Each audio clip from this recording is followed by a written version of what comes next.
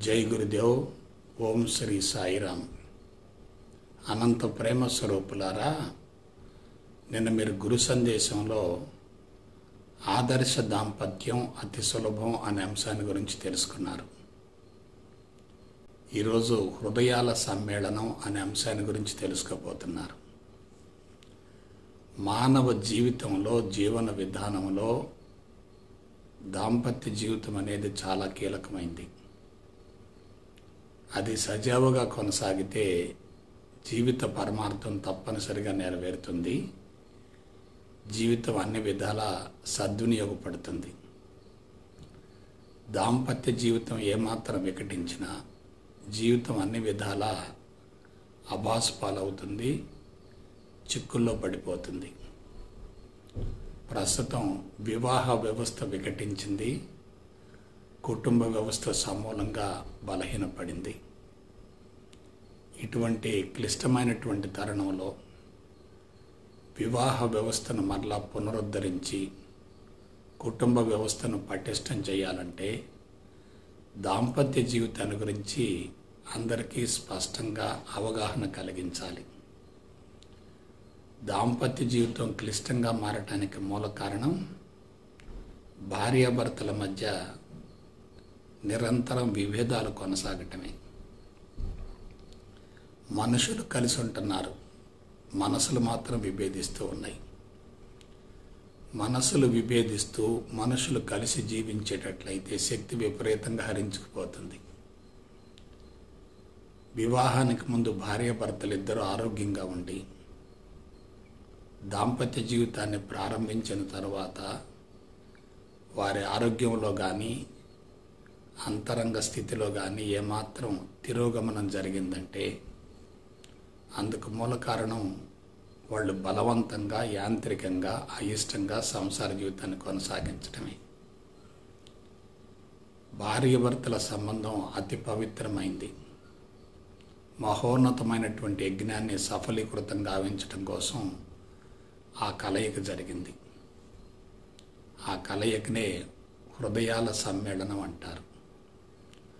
అటువంటి కలయిక జరిగినప్పుడు ఇద్దరు ఉమ్మడిగా బాధ్యతలను నిర్వహిస్తూ ఒకరికి మరొకరికి చేదోడు వాదోడుగా ఉంటూ ముందుకెళ్ళేటట్లయితే మాతృత్వం అనేటటువంటి యజ్ఞం తప్పనిసరిగా సఫలీకృతం అవుతుంది అందులో ఎటువంటి సందేహం లేదు. అయితే దురదృష్టకరమైనటువంటి అంశం ఏమిటంటే వివాహానికి ముందే ఇరువురి అంతరంగాలు కలుషితమవుతున్నాయి. రుచులు అభిరుచులు అభిప్రాయాలు భావాలు సమాంతర రేఖల మాదిరిగా ఉంటున్నాయి. ఆర్థిక పరమైన అంశాలను దృష్టిలో ఉంచుకొని వివాహ వ్యవస్థ కొనసాగుతుంది. వివాహమే వ్యాపారాత్మకంగా మారింది. సంబంధాల నిర్ణయంలోనే ఆర్థిక పరమైనటువంటి అంశాలు ఆధిక్యతను సంతరించుకుంటున్నాయి. వాటితో పాటు వివాహం జరిగిన తర్వాత కూడా ఆర్థికపరమైన అంశాలు ఆధిక్యతను సంతరించుకొని జీవితాలు కొనసాగటం వల్ల ఎవరు సంపాదిస్తే వాళ్ళ యొక్క పాత్ర ఆధిక్యతను సంతరించుకుంటుంది. సంపాదన లేకపోతే వాళ్ళు బలహీనపడుతున్నారు. కాబట్టి ఆర్థికపరమైన అంశాలు ఆధిక్యతను సంతరించుకున్న చోట ధర్మానికి అవకాశం ఉండదు కదా. కాబట్టి ధర్మంగా జీవించే వ్యక్తులు కలిసి ఉంటారు. శీల సంపదతో జీవించే వ్యక్తులు కలిసి ఉంటారు. నైతిక విలువలతో జీవించే వ్యక్తులు కలిసి ఉంటారు. నిజాయితీగా జీవించే వ్యక్తులు కలిసి ఉంటారు. క్రమశిక్షణగా జీవించే వ్యక్తులు కలిసి ఉంటారు. సేవాభావంతో జీవించే వ్యక్తులు కలిసి ఉంటారు. సత్వగుణంలో జీవించేటటువంటి వ్యక్తులు కలిసి ఉంటారు దురదృష్టవశాత్తు విద్యా వ్యవస్థ పూర్తిగా సైన్సు సాంకేతిక పరిజ్ఞానంతో కూడి ఉన్నందువలన ఆర్థిక పరమైనటువంటి అంశాలు పరిగణనలోనికి తీసుకొని ప్రణాళికలు పథకాలతో విద్యా విధానం కొనసాగటం వల్ల అంతరంగాలు వివాహానికి ముందే కలుషితమవుతున్నాయి. వివాహానికి ముందు మానవ జీవితాన్ని గురించి వివాహ వ్యవస్థను గురించి కుటుంబ వ్యవస్థను గురించి మాతృత్వాన్ని గురించి సెక్స్ జీవితాన్ని గురించి గర్భధారణను గురించి గర్భావధిని గురించి ప్రసవాన్ని గురించి బిడ్డల్ని పెంచి పోషించేటటువంటి విధానాన్ని గురించి సరైనటువంటి అవగాహన కలిగించేటట్లయితే దాంపత్య జీవితం తప్పనిసరిగా మొదరాతి మధురమవుతుంది కానీ దురదృష్టం ఏంటంటే భౌతికవాదం తారాస్థాయికి చేరింది. అందరూ వస్తు సంపదలో పూర్తిగా మునిగిపోయారు నిమగ్నమయ్యారు. వస్తువులు లేకుండా సాంకేతిక పరమైనటువంటి పరికరాలు లేకుండా జీవించలేని పరిస్థితి ఏర్పడింది. ఒక రకంగా చెప్పాలంటే మానవుడు సమస్యల తోరణంలో పూర్తిగా బంధించబడ్డాడు. మాయా వలయంలో ఇరుక్కున్నాడు.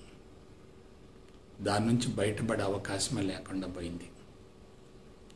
అందువల్ల వివాహ వ్యవస్థ అన్ని విధాల బలహీనపడి వికటించి విభేదాలతోనే బలవంతంగా సంసార జీవితాన్ని కొనసాగించవలసినటువంటి పరిస్థితులు ఏర్పడుతున్నాయి. ఇంతకు మించినటువంటి ప్రమాదం మరొకట్లేదు కీలకమైనటువంటి అంశం ఏమిటంటే ప్రపంచంలో భార్య భర్తను ప్రేమించినంతగా మరొకరిని ప్రేమించదు. భర్త కూడా భార్యను ప్రేమించినంతగా మరొక వ్యక్తిని ప్రేమించడు ప్రేమించలేడు. ఇద్దరు కలిసి దశాబ్దాల తరబడి దాంపత్య జీవితాన్ని కొనసాగించవలసి ఉంటుంది. ఉమ్మడిగా బాధ్యతలను నెరవేర్చవలసి ఉంటుంది పంచుకోవలసి ఉంటుంది ఇరువురి శరీరాలు కలుస్తున్నాయి. మనసులు కలుస్తున్నాయి. హృదయాలు కలుస్తున్నాయి. ఆత్మలు కూడా కలుస్తున్నాయి. ఇంత అన్యోన్యత ఆప్యాయత వేరే మరొకరితో కొనసాగే అవకాశమే లేదు. అయితే ఇద్దరి మధ్య విభేదాలుంటే సున్నితమైనటువంటి ఆ సంబంధం సమూలంగా వికటిస్తుంది. ఇద్దరి మధ్య సయోధ్య ఉంటే సామరస్యం ఉంటే సమన్వయం ఉంటే సహజీవనం ఉంటే ఆ అంశం సఫలీకృతం అవుతుంది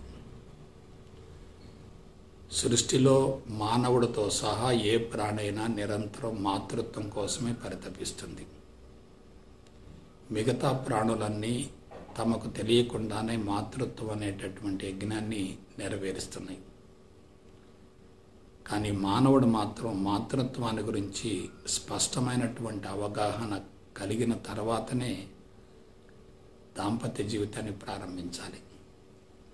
ఎందువలన మిగతా జాతులలో మనసు అనేది లేదు బుద్ధి అనేది లేదు హృదయం అనేది కూడా లేదు. ఒకవేళ ఉన్న అవన్నీ నామమాత్రంగా ఉంటాయి. కానీ మానవ జాతులు మాత్రం మనసు బుద్ధి చిత్తం అహంకారం ఈ నాలుగు కీలక పాత్ర పోషిస్తాయి.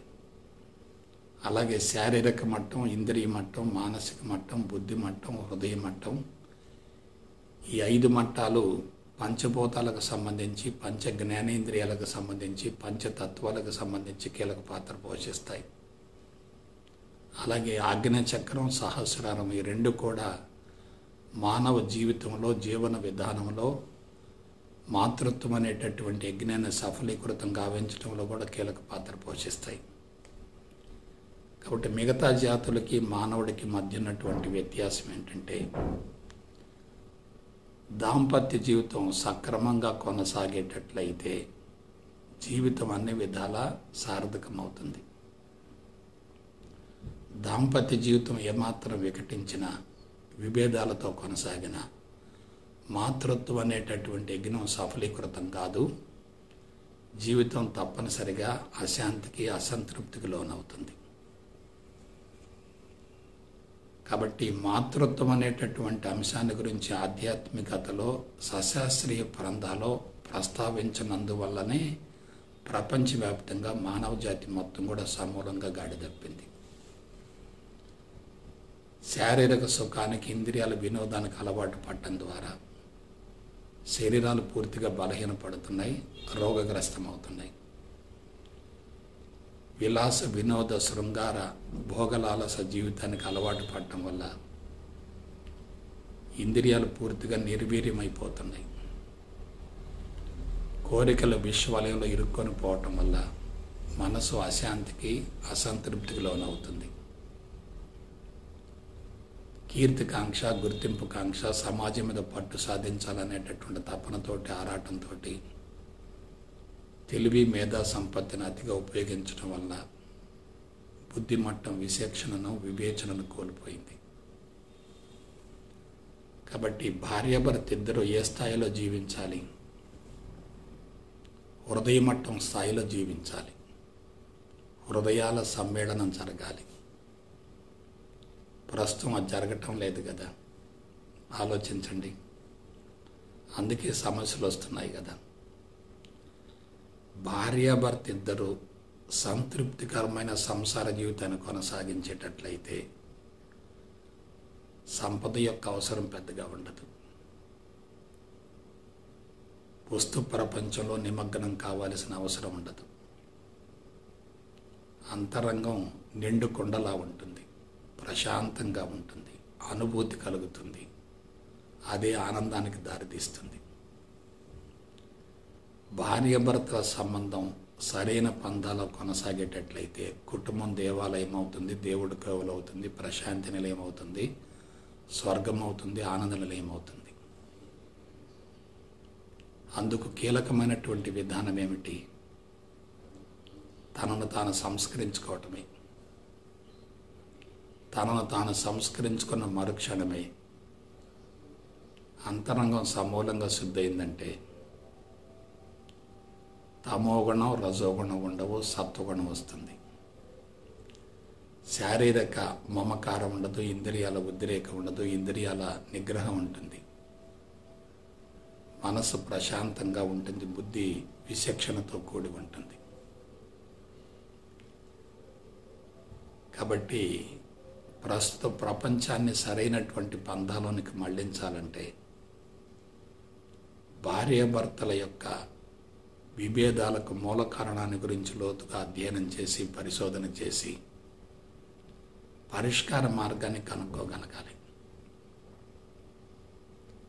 Thickest friends on the earth భార్య భర్తలే.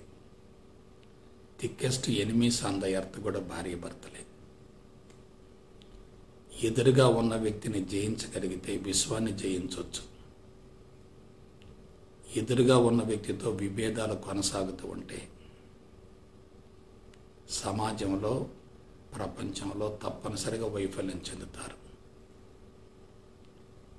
దాంపత్య జీవితం సజావుగా కొనసాగితే శక్తి విపరీతంగా పెరుగుతుంది. దాంపత్య జీవితంలో ఏమాత్రం అవకతవకలు తలెత్తుతున్నా శక్తి విపరీతంగా హరించుకుపోతుంది. మరొక కీలకమైనటువంటి అంశాల గురించి ఈ సందర్భంగా తెలియజేస్తాను. ఇద్దరు సెక్స్లో పాల్గొన్నప్పుడు శరీరాలు కలుస్తాయి మనసులు కలుస్తాయి హృదయాలు కలుస్తాయి ఆత్మలు కూడా కలుస్తాయి.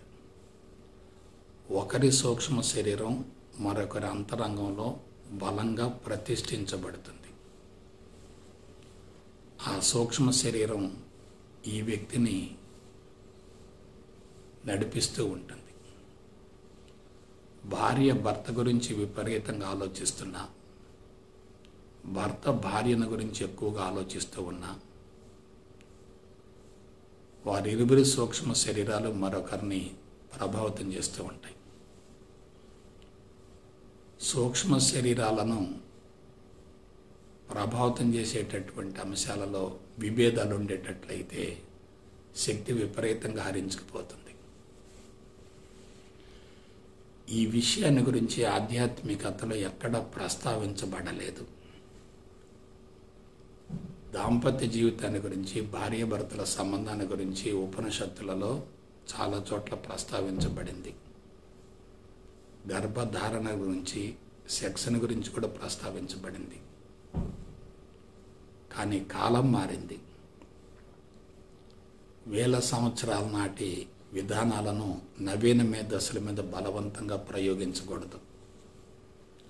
మనం అధునాతన సాంకేతిక పరిజ్ఞానాన్ని ఉపయోగించాలి.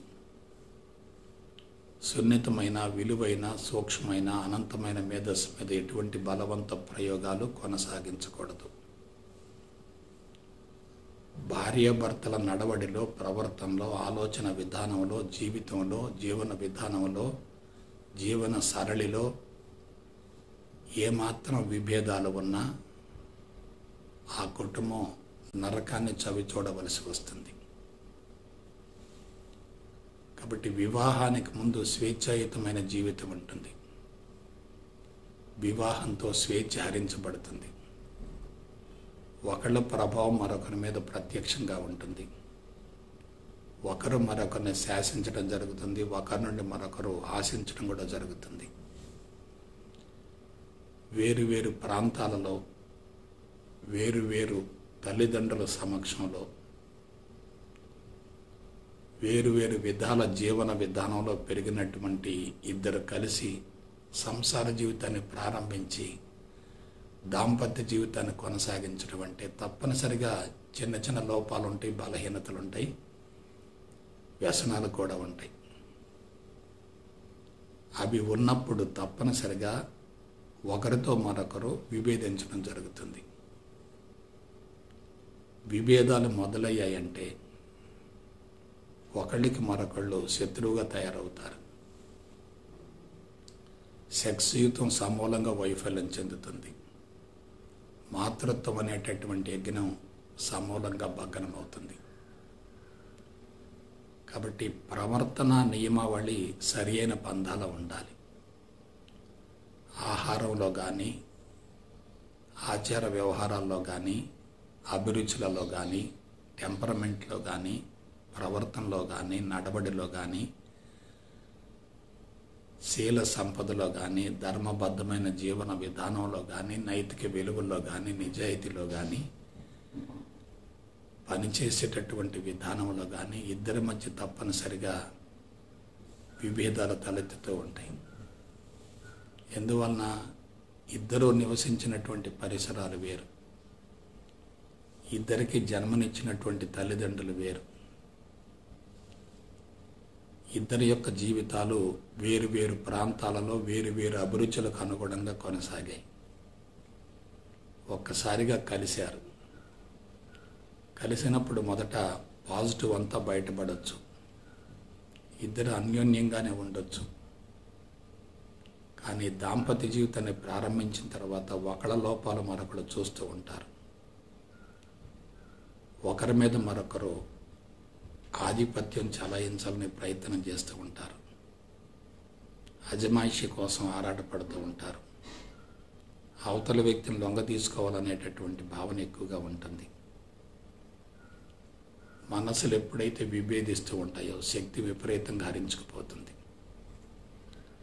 ఇద్దరు ఎదురెదురుగా కూర్చున్నప్పుడు ఒకళ్ళ నుండి విడుదలయ్యేటటువంటి వాసన బీజం మరొకరి అంతరంగంలోకి ప్రవేశించి ఆ అంతరంగాన్ని కలుషితం చేస్తుంది. కాబట్టి మాట్లాడుకోకపోయినా ఎటువంటి కార్యక్రమాల్లో పాల్గొనకపోయినా మనసులు విభేదించేటట్లయితే అవి బయటికి కనిపించవు కదా. ఇవాళ భార్యాభర్తలకు సంభవించేటటువంటి రుగ్మతలకు మూల కారణం చెడు వాసన బీజాలే. భార్యాభర్తల మధ్య ప్రేమ అనురాగం ఆప్యాయత ఐకమత్యం ఉన్నాయనుకోండి. అదే మెడిసిన్ అవుతుంది. అలా కాక అందుకు వ్యతిరేకంగా వాళ్ళ జీవన విధానం కొనసాగింది అనుకోండి అదే విషయం అవుతుంది. కాబట్టి భార్యాభర్తల దాంపత్య జీవితం అనేది సజావుగా కొనసాగటానికి దానిని గురించి చక్కటి అవగాహనను ఏర్పరిచిన తర్వాతనే దాంపత్య జీవితాన్ని ప్రారంభించగలిగితే మాతృత్వం అనేటటువంటి యజ్ఞం సఫలీకృతం కావటంతో పాటు జీవిత పరమార్థం కూడా నెరవేరుతుంది జీవితం అన్ని విధాలా సద్వినియోగపడుతుంది. ఆర్థిక పరమైనటువంటి అంశాలు ఆధిక్యతను సంతరించుకున్న తోట ఐకమత్యానికి అవకాశం లేనే లేదు. ఆస్తులు అంతస్తులు ప్రధానం అనుకున్న చోట ఆత్మీయతలకు అవకాశమే ఉండదు. కాబట్టి మనం ఎదురుగా కనిపించేటటువంటి వ్యక్తిని జయించకుండా భగవంతుని మీద ఆధారపడితే ప్రయోజనం ఏమిటి? కఠోర సాధన చేస్తే కలిగేటటువంటి ఉపయోగం ఏంటి? కాబట్టి ఎదురుగా ఉన్నటువంటి వ్యక్తిని జయించలేకపోవటానికి లోపం ఎక్కడుంది? మన అంతరంగంలోనే ఉంది. ఈ విషయాన్ని గురించి కనుక అవగాహన కలిగితే దాంపత్య జీవితం విజయవంతమైనట్లే. వివాహానికి ముందు తప్పనిసరిగా ఇద్దరిలో బలహీనతలు ఉంటాయి కానీ వైవాహిక జీవితానికి ముందే ఆధ్యాత్మికతను గురించి అవగాహన గావించుకునేటట్లయితే దాంపత్య జీవితంలో బలహీనతలను సరిచేసుకునే అవకాశం ఉంటుంది. బలహీనతలు ఉన్నంత వరకు బాధలు ఉంటాయి బలహీనతలు సమూలంగా తొలగిపోతే భార్యాభర్తల దాంపత్య జీవితం అద్భుతంగా ఉంటుంది. దాంపత్య జీవితంలో విజయవంతమైతే వెయ్యేనుగుల బలం వస్తుంది. మాతృత్వం అనేటటువంటి యజ్ఞం సఫలీకృతమైతే జీవితం అన్ని విధాల ఆనందమయమవుతుంది. అటువంటి మాతృత్వం అనేటటువంటి యజ్ఞం సఫలీకృతం కావాలంటే ఇద్దరి యొక్క సంయుక్త కృషి ఉండాలి సంయుక్త బాధ్యత ఉండాలి. ఒకళ్ళనొకరు విమర్శించుకుంటూ విభేదించుకుంటూ కీచులాడుకుంటూ కొట్లాటలతో జీవిస్తూ పేచీలు పంచాయతీలతో జీవితాన్ని కొనసాగించేటట్లయితే అంతకు మించినటువంటి దురదృష్టం మరొకటి ఏముంటుంది? అందువల్లనే గమనించండి ఒకప్పుడు ఒంటరి జీవితంలో ప్రశాంతత ఉంది. ఇటీవల కాలం వరకు ఉమ్మడి జీవితాలు ఎంతో కొంత మేరకు విజయవంతమయ్యాయి. కానీ ఇప్పుడు ఉమ్మడి జీవితాలకు కూడా స్వస్తి చెప్తున్నారు. ఒంటరి జీవితాలనే కోరుకుంటూ ఉన్నారు. అందుకు మూల కారణం ఏంటి? భర్త ద్వారా భార్యకు భార్య ద్వారా భర్తకు అసౌకర్యం కలగటమే. అవతల వ్యక్తిని మనస్ఫూర్తిగా ప్రేమించడం వేరు కృత్రిమంగా ప్రేమించడం వేరు. అవతల వ్యక్తితో హృదయపూర్వకంగా కలిసి ఉండటం వేరు. యాంత్రికంగా కలిసి ఉండటం వేరు యాంత్రికంగా కలిసి ఉండేటట్లయితే అది ఒక రకంగా నటించటం అవుతుంది. పైకి కలిసి ఉంటున్నారు. లోపల మాత్రం యుద్ధం జరుగుతూ ఉంది. విభేదాలు తలెత్తుతూ ఉన్నాయి. విభేదాలతో నిరంతరం దాంపత్య జీవితాన్ని కొనసాగించేటట్లయితే ఒక దశాబ్ద కాలం పోయేసరికి ఇద్దరు శరీరాలు పూర్తిగా బలహీనపడతాయి నిర్వీర్యమవుతాయి దీర్ఘకాలిక రుగ్మతలు సంభవిస్తాయి. కాబట్టి ఫుడ్ ద్వారా శక్తి రాదు. మందుల ద్వారా శక్తి రాదు. చికిత్సా విధానాల ద్వారా రుగ్మతలు నయం కావు. ఒకరినొకరు గాఢంగా ప్రేమించుకుంటే అదే మెడిసిన్ అవుతుంది. మనోబలానికి మించిన మందే ఉంటుంది. ఆ మనోబలం తగ్గటానికి మూల కారణం ఏంటి? భార్యాభర్తలు విభేదించుకోవటమే. భారతదేశ వివాహ వ్యవస్థ కొన్ని నిర్దిష్టమైన సూత్రాలతో కొనసాగినప్పటికీ పరిణామ క్రమంలో అది కూడా పూర్తిగా వ్యాపారాత్మకంగా మారింది. కాంట్రాక్ట్ మ్యారేజెస్ అనేవి ఒక రకంగా ప్రమాదం అయితే బాండెడ్ మ్యారేజెస్ అనేవి మరొక రకంగా ప్రమాదకరం అవుతున్నాయి బాండెడ్ మ్యారేజెస్లో ఇద్దరి మధ్య అవగాహన ఉండదు. సెక్స్ జీవితంలో మధురమైనటువంటి అనుభూతులు కలగవు. ఎవరి ఒత్తిడి మీదనో సంసార జీవితం కొనసాగించవలసి వస్తుంది. తల్లిదండ్రులకు భయపడి బలవంతంగా కలిసి ఉంటున్నారు. పెద్దల యొక్క ఆదేశం ప్రకారమే జీవితాలు కొనసాగుతున్నాయి. స్వతంత్రంగా ఆలోచించుకునే అవకాశం లేకుండా పోయింది. కాబట్టి సెక్స్ జీవితంలో ఎవరైతే సంతృప్తిగా ఉంటారో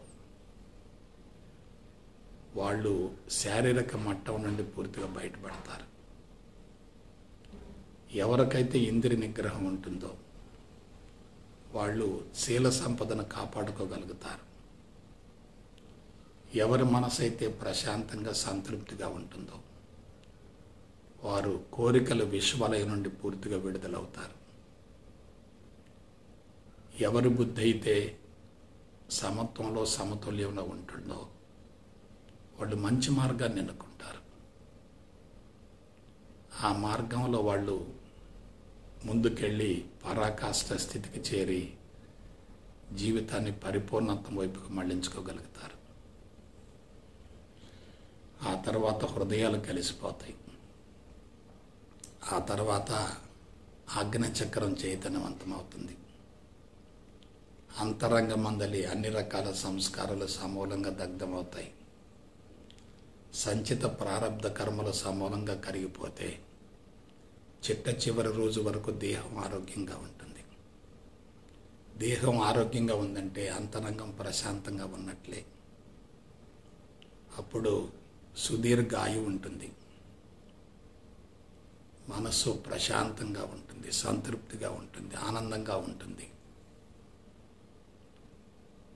తన మీద తనకి పూర్తి పట్టు ఉంటుంది. అందుకు ఆధ్యాత్మిక మార్గాన్ని గురించి సశాస్త్రీయ పంథాలు అవగాహన గావించుకోగలగాలి. అసలు మానవ జీవితం యొక్క అర్థం పరమార్థాన్ని గురించి తెలుసుకోగలగాలి. జీవితాన్ని గురించి అవగాహన నుండి జీవితం కొనసాగించడం వేరు. జీవితాన్ని గురించి అవగాహన లేకుండా జీవితాన్ని కొనసాగించడం వేరు. ప్రస్తుతం అందరూ కూడా జీవితాన్ని గురించి అవగాహన లేకుండా జీవితం అంటే కేవలం భోగలాలస విధానమే అనేటటువంటి భావంతో ముందుకెళ్ళటం వల్ల ఖరీదైన జీవితం కోసం ఆరాటపడటం వల్ల విలాస వినోద శృంగారాల జీవిత పరమార్థమని భావించటం వల్ల కీర్తికాంక్ష గుర్తింపు కాంక్షల కోసం పరితపించటం వల్ల మనిషి పూర్తిగా మాయలో పడ్డాడు. తెలివి మేధా సంపత్తి ఆధిక్యతను సంతరించుకుంది.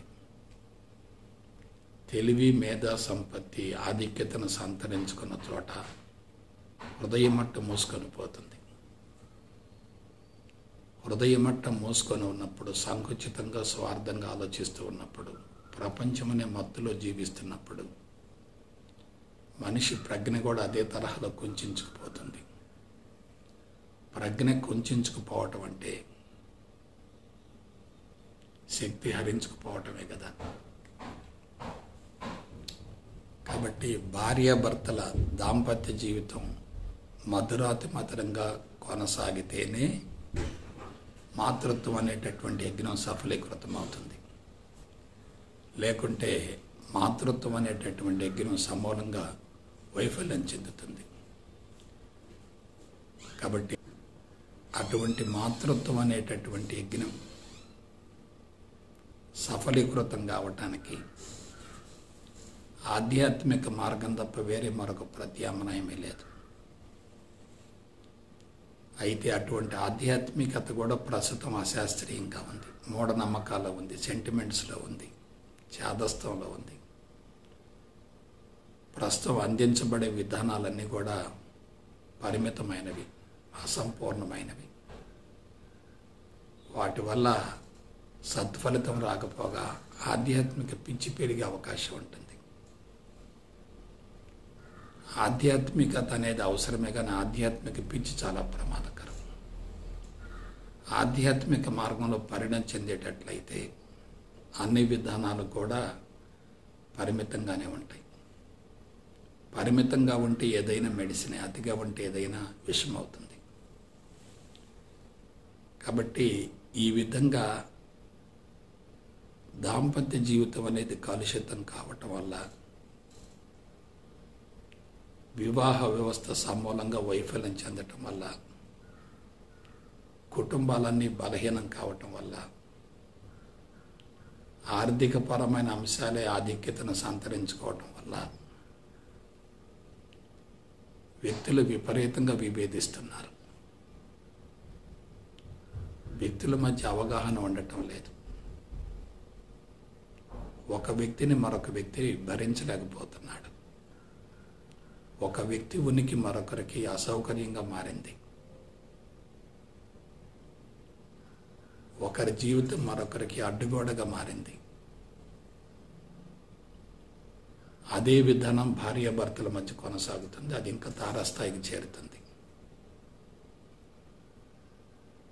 కాబట్టి భార్యను భర్త జయించగలగాలి భర్తను భార్య జయించగలగాలి. అందుకు సంస్కార శుద్ధి జరగాలి. ఆ సంస్కార శుద్ధి కోసం పరిపూర్ణ జ్ఞానం అందించబడాలి.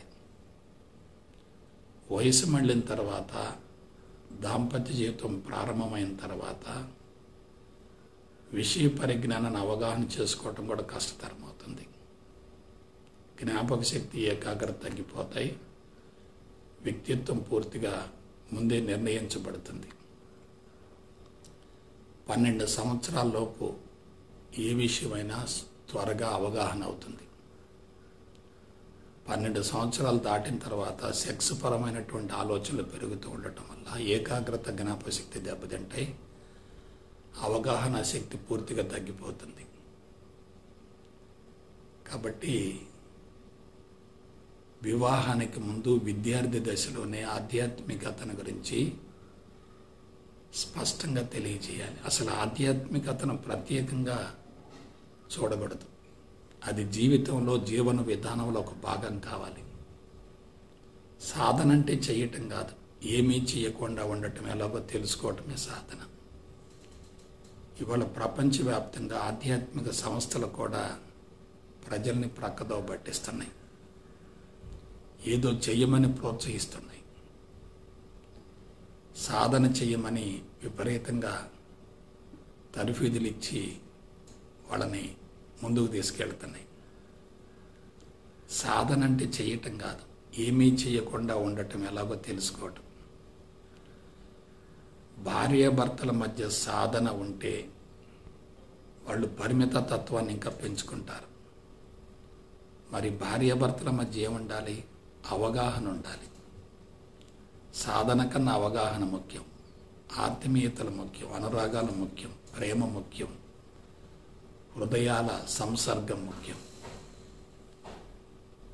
కాబట్టి అటువంటి హృదయాల సంసర్గంతో జీవితాలను కొనసాగించేటట్లయితే ఉమ్మడిగా బాధ్యతలను పంచుకునేటట్లయితే వివాహం నుండి చిట్ట చివరి దశ వరకు వాళ్ళ మధ్య ఎటువంటి విభేదాలు తలెత్తవు. ఎక్కడైతే రాగం ఉంటుందో అక్కడే ద్వేషం ఉంటుంది. రాగద్వేషాలు రెండు కూడా కలిసే ఉంటాయి. ఎక్కడైతే పాజిటివ్ ఉంటుందో అక్కడ తప్పనిసరిగా నెగిటివ్ ఉంటుంది. పాజిటివ్ నెగిటివ్ రెండు కలిసే ఉంటాయి. ద్వంద్వాలను గురించి స్పష్టమైనటువంటి అవగాహన ఉంటే ఆధ్యాత్మిక మార్గంలో సులభంగా పరిణతి చెందవచ్చు. ద్వంద్వాలను గురించి అవగాహన లేకపోతే ద్వంద్వాలలో ఇరుక్కుపోతే ఒకదాన్ని చూస్తూ రెండవ దాన్ని గమనించలేకపోతే పాక్షిక దృష్టి ఉంటుంది పరిమిత దృష్టి ఉంటుంది భౌతిక దృష్టి మాత్రమే ఉంటుంది. కానీ భార్యాభర్తల మధ్య ఉండవలసింది భౌతిక దృష్టి కాదు సూక్ష్మ దృష్టి కాదు సమదృష్టి ఉండాలి. ఒకళ్ళ పట్ల మరొకరికి సదాభిప్రాయం ఏర్పడాలి. భార్య భర్తను భర్త భార్యను చూసేటటువంటి కోణాలు పాజిటివ్గా ఉండాలి. అంటే పాజిటివ్ నెగిటివ్ రెండు సమూలంగా కరిగిపోయిన తర్వాత అక్కడ పాజిటివ్ కోణం మాత్రమే ఉంటుంది. అదే ఆధ్యాత్మిక మార్గంలో ఉన్నటువంటి కీలకమైనటువంటి అంశం. కాబట్టి హృదయాలు కలిస్తే జీవితం ఎలా ఉంటుందో ఆలోచించండి. ఎందుకు కలవలేకపోతున్నారో? అందుకు మూల కారణం ఏమిటో ఒకసారి విశ్లేషించుకోండి. లోపం అవతల వ్యక్తులు లేదు. అవతల వ్యక్తిలో ఉన్నటువంటి లోపాలు చూడటమే పెద్ద లోపం. అవతల వ్యక్తిని సరిచేయాలనుకోవటమే పెద్ద ప్రమాదం. మనల్ని మనం సరిచేసుకునే ప్రయత్నం ప్రారంభించిన మరుక్షణమే ప్రతికూలంగా ఉన్నటువంటి పరిస్థితులన్నీ అనుకూలంగా మారతాయి. మనల్ని మనం సరి చేసుకోవటం మర్చిపోయి అవతల వ్యక్తిని సరిచేసే ప్రయత్నం చేశామనుకోండి పరిస్థితులు ఇంకా తీవ్రతరం అవుతాయి ప్రతికూలంగా మారతాయి. కాబట్టి యాక్షన్ బట్టి రియాక్షన్ ఉంటుంది కదా. యాక్షన్ ఒక రకంగా రియాక్షన్ మరొక రకంగా ఉండదు కదా. పండంటి బిడ్డను ప్రపంచానికి కానుకగా అందించగలిగితే ఇక ఆస్తుల యొక్క అవసరమే ఉంది. ఆర్థిక వనరుల కోసం ఆరాటపడవలసినటువంటి అవసరం ఏమంటుంది? మనం అందించేటటువంటి బిడ్డ ఏమాత్రం బలహీనంగా ఉన్నా ఆ బిడ్డ యొక్క సంరక్షణ పోషణ కడుభారం అవుతుంది. పోషణ భారం పెరిగిందంటే శక్తి విపరీతంగా హరించుకుపోతుంది. బిడ్డలకు స్వేచ్ఛనిస్తూ పెంచటానికి బిడ్డలను బంధిస్తూ పెంచడానికి మధ్య చాలా వ్యత్యాసం ఉంటుంది. ఇవాళ సామాజిక పరిస్థితులు దుర్భరంగా ఉన్నాయి కాబట్టి ఎక్కువ మంది బిడ్డల పట్ల మోహాన్ని పెంచుకుంటున్నారు. వాళ్ళను చూసి విపరీతంగా ఆందోళన చెందుతున్నారు. వాళ్ళని గురించి భయపడుతున్నారు. వాళ్ళ భవిష్యత్తుల గురించి విపరీతంగా కలత చెందుతున్నారు. అందుకే శక్తికి మించి ఖర్చు చేస్తున్నారు. విద్యా వ్యవస్థ పూర్తిగా వ్యాపారాత్మకంగా మారటం వల్ల ప్రతి బిడ్డ మీద లక్షల రూపాయలు వెచ్చించవలసి రావటం వల్ల వాళ్ళ పోషణ భారం చాలా ఇబ్బందికరంగా మారింది భారంగా మారింది. ఇటువంటి విషయాలన్నీ కూడా దాంపత్య జీవితం మీద ప్రభావాన్ని చూపుతాయి. ఇవాళ విడాకులకి మూల కారణం ఏంటంటే కలిసి జీవించలేకపోవటం. ఒకళ్ళ పట్ల మరొకరికి బలమైనటువంటి అభిప్రాయం ఏర్పడటం. అభిప్రాయాన్ని మార్చుకోలేనంతగా దానికి బానిస కావటం. మన అంతరంగంలో సంస్కారాలు బరువుగా భారంగా లోతుగా రికార్డ్ అయి నిశ్చితమైనటువంటి దృఢమైనటువంటి అభిప్రాయం ఏర్పడిన తర్వాత దాన్ని తొలగించుకోవటం చాలా కష్టమవుతుంది. భార్య భర్తలలో ఇదే జరుగుతుంది. వివాహానికి ముందు కలుషితమైనప్పుడు బాధ్యత లేని స్వేచ్ఛను కోరుకుంటున్నప్పుడు ఇద్దరు కలిసిమెలిసి జీవించటం చాలా ఇబ్బందికరంగా మారుద్ది అసౌకర్యంగా మారుద్ది. అందుకే ఒక వ్యక్తి ఎదురుగా ఉంటే మరొక వ్యక్తి భరించలేకపోతున్నాడు. ఇద్దరూ కలిసిమెలిసి ఆప్యాయంగా మాట్లాడుకోలేని స్థితి ఏర్పడింది. ఇతర దేశాల్లో అక్రమ సంబంధాలు విపరీతంగా ఉండటం వల్ల సెక్స్ను విలాసవంతమైనటువంటి పరికరంగా వాడుకుంటున్నారు తప్ప మాతృత్వం కోసం దాన్ని ఉపయోగించడం లేదు. అనుభూతి గురించి ఆలోచిస్తున్నారు తప్ప ఆనందాన్ని గురించి ఆలోచించడం లేదు. అనుభూతి తాత్కాలికమైంది. ఆనందం మాత్రం శాశ్వతమైంది. అటువంటి శాశ్వతమైనటువంటి ఆనందం రావాలంటే ఇద్దరికి జీవితం పట్ల చక్కని అవగాహన ఉండాలి వివాహం పట్ల అవగాహన ఉండాలి దాంపత్య జీవితం పట్ల అవగాహన ఉండాలి మాతృత్వం పట్ల అవగాహన ఉండాలి సెక్స్ పట్ల అవగాహన ఉండాలి సెక్స్లో తప్పనిసరిగా పవిత్రత ఉండాలి ప్రేమ ఉండాలి సెక్స్ను పరిమితంగా ఉపయోగించుకుంటూ ఉండాలి. ప్రేమగా సెక్స్ను పంచుకుంటూ ఉంటే శక్తి విపరీతంగా పెరుగుతుంది. అక్రమ సంబంధాలకు అలవాటు పడితే శక్తి విపరీతంగా హరించుకుపోతుంది. భార్యాభర్తలు కలిసిమెలిసి జీవించడం అనేది కలిసిమెలిసి సెక్స్లో పాల్గొనడం అనేది లీగల్ సెక్స్ అవుతుంది. అలా కాకుండా అక్రమ సంబంధాలకు అలవాటు పడితే ఇల్లీగల్ సెక్స్ అవుతుంది. ఇల్లీగల్ సెక్స్లో అపరాధ భావం ఉంటుంది. పాపభీతి ఉంటుంది. రహస్యం ఉంటుంది. ఒకళ్ళ పట్ల మరొకళ్ళకి తాత్కాలికమైనటువంటి బంధం ఉంటుంది. కానీ శాశ్వతమైన బంధం ఇంట్లోనే ఉంది బయట లేదు. భార్యాభర్తల మధ్య విశ్వాసం అంటే ఇరువురు హృదయాలు తప్పనిసరి కలిసిపోతాయి.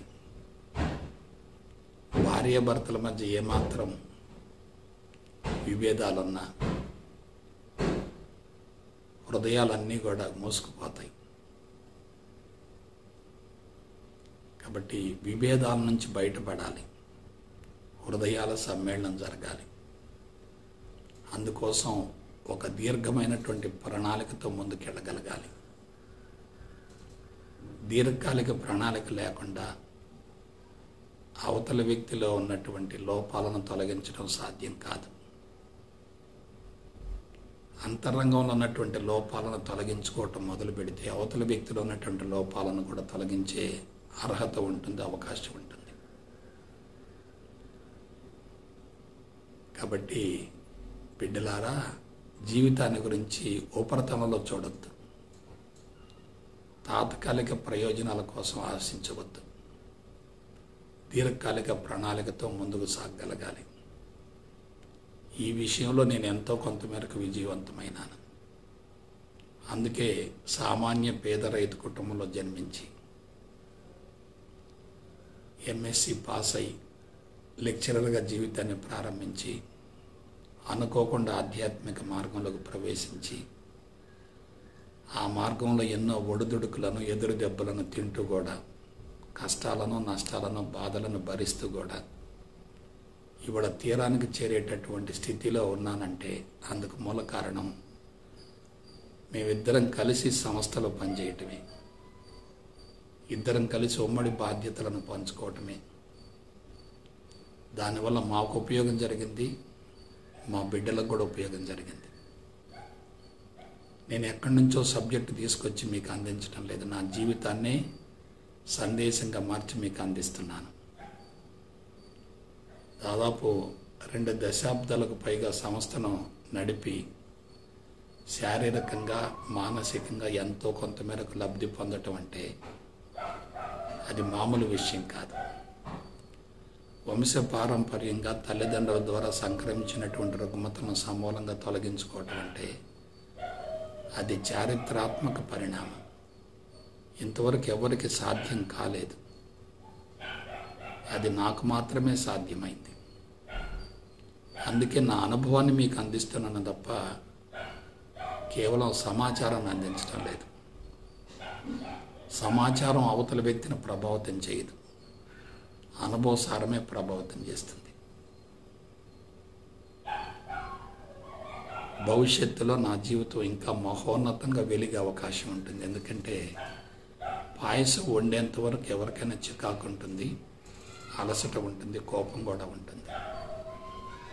పాయసం వండటం పూర్తయిన తర్వాత అందరికీ వడ్డించిన తర్వాత ఆస్వాదిస్తూ ఉంటే అంతరంగం సంతృప్తిగా ఉంటుంది ఆనందంతో పరవశించిపోతుంది.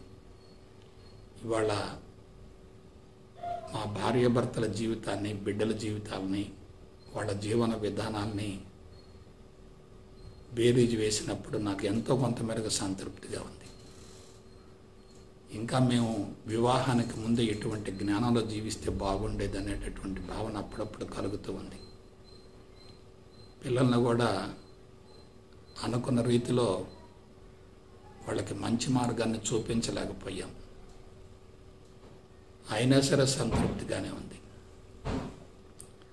కొద్దిగా మాత్రమే తెలుసుకొని ఆచరించినందువల్ల అంత సంతృప్తి కలిగితే పిన్న వయసులోనే దీనిని గురించి పూర్తిగా అవగాహన గావించుకొని దాంపత్య జీవితాన్ని ప్రారంభించేటట్లయితే ఇంకెలా ఉంటుందో ఊహించుకుంటేనే ఒళ్ళు గగురు పొడుస్తుంది. అన్నీ తెలిసి జీవించటం వేరు అజ్ఞానం నుండి జీవించటం వేరు. భౌతిక జ్ఞానంలో ముందుకు సాగటం వేరు. ఆత్మజ్ఞానాన్ని గురించి అవగాహన గావించుకొని జీవితాన్ని కొనసాగించటం వేరు. ఆత్మజ్ఞానం ఉన్న చోట భౌతిక జ్ఞానానికి పెద్ద విలువ ఉండదు. జీవితాన్ని గురించి సమూలంగా అవగాహన జరిగేటట్లయితే భౌతిక ప్రపంచానికి ఎక్కువగా ప్రాధాన్యతనివ్వం. భార్యాభర్తలు ఎక్కువసేపు కలిసి జీవించేటట్లయితే హృదయాల కలయికతో జీవించేటట్లయితే చనిపోయే రోజు వరకు ఎటువంటి మెడిసిన్స్ యొక్క అవసరం ఉండదు. అంటువ్యాధులు కూడా రావు. దీర్ఘకాలిక వ్యాధులు ఉండవు. అందులో ఎటువంటి సందేహం లేదు. కాబట్టి క్రింద నుండి పై వరకు అన్ని చక్రాలు సమూలంగా శుద్ధి కావాలంటే ఒకే ఒక బలమైనటువంటి విటమిన్ లేక టానిక్ ఏమిటంటే పరిపూర్ణ అద్వైత బ్రహ్మజ్ఞానం. దీని గురించి గతంలో నేను పరిమితంగా ఆలోచించాను. కానీ ఇప్పుడు అన్ని అంశాలను బేరీజు వేసుకుని సమగ్రంగా సంపూర్ణంగా రూపొందించాను. పరిపూర్ణ అద్వైత బ్రహ్మజ్ఞానం అంటే శాస్త్రం ఉండాలి లౌకి ఉండాలి భౌతికవాదం ఉండాలి మనస్తత్వం ఉండాలి తత్వం ఉండాలి దివ్యత్వం ఉండాలి ఆ తర్వాతనే ఆధ్యాత్మికత అందుతుంది. వీటన్నింటినీ సరి చేసుకోకుండా నేరుగా ప్రత్యక్షంగా ఆధ్యాత్మిక మార్గంలోకి ప్రవేశించిన సమూలంగా వైఫల్యం చెందడం జరుగుతుంది తప్ప సఫలీకృతమయ్యే అవకాశమే లేదు. కాబట్టి వీటన్నిటిని దృష్టిలో ఉంచుకొని గురు సందేశాలలో ప్రతి విషయాన్ని స్పష్టంగా ప్రస్తావిస్తూ వస్తున్నాను. కాబట్టి అనుభవసారాన్ని అందిస్తున్నప్పుడు తప్పనిసరిగా అవతల వ్యక్తి ప్రభావితం అవుతాడు కేవలం సమాచారం అందిస్తూ ఉంటే అది బలవంతంగా నూరిపోయటం అవుతుంది. గురు సందేశాలను ప్రారంభించినప్పుడు నాకు చాలా భయంగా తోచింది. ఎందుకంటే సంవత్సరం పాటు గురు సందేశాలను అందిస్తానని చెప్పి ప్రకటించటం జరిగింది. ఇచ్చినటువంటి వాగ్దానం నిలబెట్టుకుంటానా లేదని చెప్పి మదన పడ్డాను. కానీ నెరవేరుతుంది కదా. మూడు వందల ఎపిసోడ్స్ని అందించడం అంటే మామూలు విషయం కాదు కదా. ఇది ఎలా సాధ్యమవుతుంది? నేను పుట్టింది ఎక్కడ పెరిగింది ఎక్కడ? నా గతం ఏమిటి వర్తమానం ఏమిటి